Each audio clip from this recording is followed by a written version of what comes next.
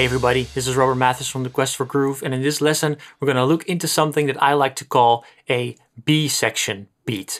You might recognize this situation where you're playing along to a song, you're playing a basic groove, kick, snare, hi-hat, and at some point the song moves into the B section, and at that point you feel like your beat has to change as well. And a great thing to do in that situation, most of the time, is that you can move from your hi-hat to your ride cymbal. That usually works great and that's what we're going to do in this lesson. I'm going to teach you a nice ride pattern. I'm going to put the ride on the after beats to give whatever you're playing along to more forward motion. And I'm also going to teach you a difficult but tasty kick drum pattern to go along with it. All right, let's go. Now, first things first, if you don't know how to set all of this up and you want to know how to link what sound to what pad and stuff like that, you want to check out this video. I'll also link to it below. That's all about the basics. Once you've got the basics down and you set this pad to a ride bell sound as opposed to a normal ride sound, then you're ready to go with the lesson. The first beat you want to teach yourself is this one.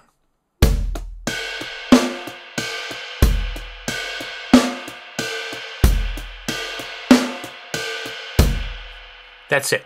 One E and a two E and a three E and a four E and one E and a two E and a three E and a four E and a one. That's all you gotta do. And uh, you really want to pay attention to sort of making this consistent. Pay attention to, for example, these three hi-hats over here. Right? Can you make them sort of sound groovy no matter how slow you play this thing, right? That's that's that's an interesting thing to focus on.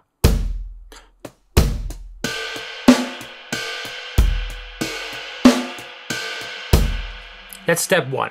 Then step 2 is maybe speed this up a little bit together with a metronome. I usually recommend people to play along to 50 BPM, then 55, then 60, 65, 70, 75, 80, 85, 90, something like that. That's sort of the range, all the metron metronome tempos that you want to be playing along to. And you just speed this thing up. And then you, you learned the basic groove that we're about to learn.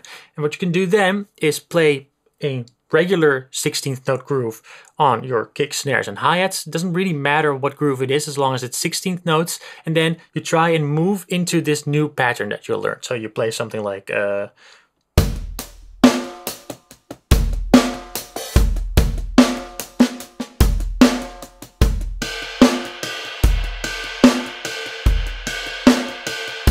right? Something like that could be slower, doesn't really matter. And you just do that for a while. You, you can, you know, just jam along, play this for 15 minutes, move in and out of this pattern.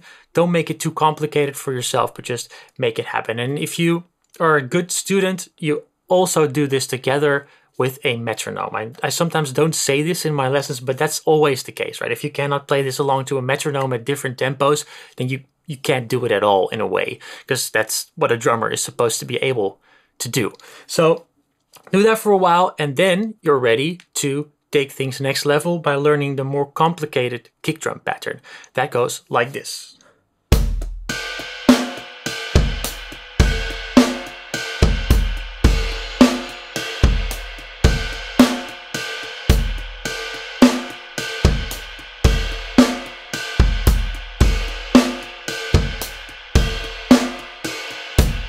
Let me just count out loud and take it a little bit slower.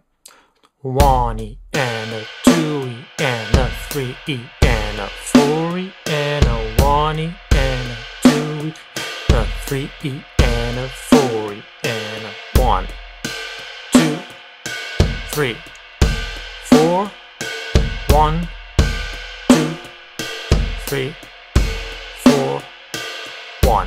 So that's the pattern. It spans two bars. Pretty interesting. And you want to take the same approach as you did before, right? You want to learn this slowly, preferably count out loud, pay attention to everything. Also these little hi-hat notes in between, sort of try and spread them out nicely. And then practice this with a metronome, 50 to 90 BPM preferably.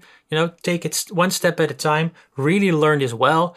And then you're ready to move from a regular hi-hat groove into the ride groove.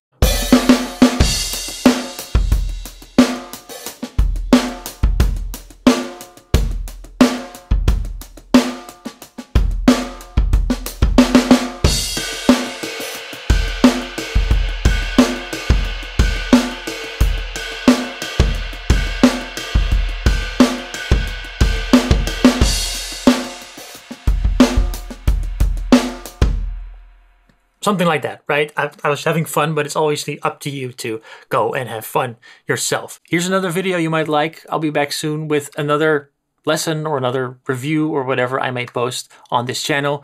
Have fun playing, good luck practicing, and uh, see you around. Bye bye.